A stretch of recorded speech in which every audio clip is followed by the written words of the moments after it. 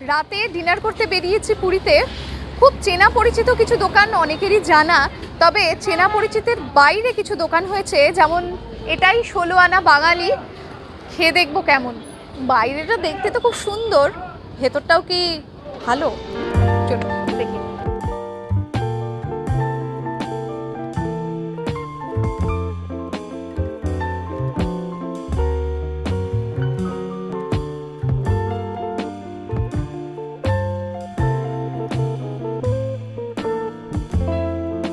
বসেছি menu card নিয়ে, ভাবছি কি খাব আর কি খাব না, অনেক কিছু রয়েছে। যেমন স্টার্টারেই রয়েছে মাছের ডিমের বড়া, আশি টাকা। দেখাই। সুরজিৎকে বলব, চট করে একবার দেখিয়ে দিতে মেনু কার্ডটা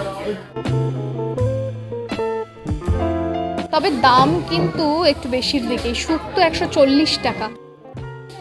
আচ্ছা আলু, বেগুন, পটল, ভাজা যে কোনো একটা ভাজা কত টাকা সর্বনাশ। খাইনি, কেমন জানি না, তবে এইগুলো যে কেমন হবে সেটা সকলেই জানে। বেগুন দু পিস আচ্ছা বেগুনি দু পিস চল্লিশ টাকা। মধ্যবিত্তের পকেট ফ্রেন্ডলি বলা যাচ্ছে না। অন্ততপক্ষে আমার মতে তো যাচ্ছেই না। কারণ চিকেনের আইটেমগুলো সবগুলো কিন্তু দুশো কুড়ি, দুশো তিরিশে মানে দুশোর ঘরে। চিকেনের আইটেম কোনো একশোর ঘরে নেই। দোকানটা নতুন আর দামও দেখছি বেশ বেশি। তো আমি রিক্স নিলাম না, একটু কমের মধ্যেই সারছি। মাটন কষা নিচ্ছি তিন পিস দুশো টাকা আর স্টিম রাইস ফুল প্লেট আশি টাকা। খেয়ে দেখি এর দামও কি আমাদের থেকে নিচ্ছে প্রিন্ট করা।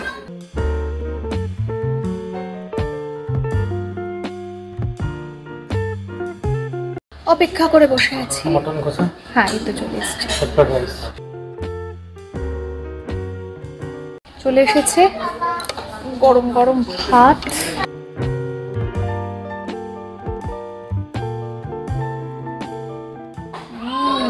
মাটন কষা থেকে কিন্তু বেশ সুন্দর গন্ধ বেরোচ্ছে। জানি না কেমন খেতে হবে। এবার একটু বাবা খুব গরম।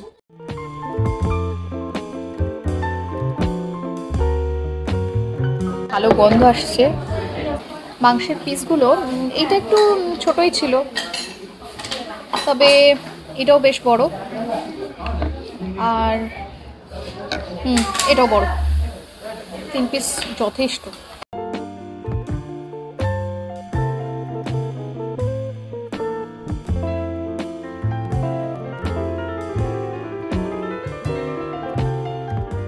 খেয়ে দেখে বলছি।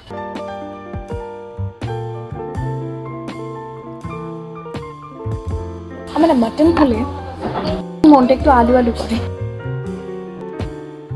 খুব যে একদম নরম তুলতুলে তা কিন্তু হয়নি। ঠিকঠাক।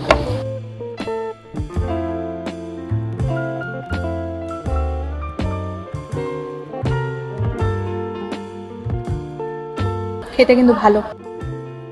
দুশো চল্লিশ টাকায় তিন পিস দামটা একটু বেশি।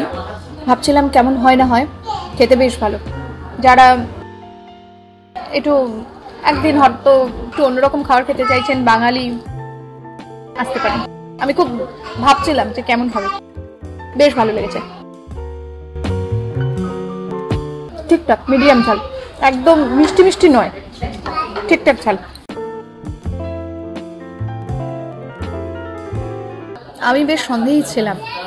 নতুন দোকান, অনেকেই তো অনেক কিছু বলে। মিষ্টি মিষ্টি হলে আমি ঠিক মাংস ভালোবাসি না। ভালো আছে ভালো।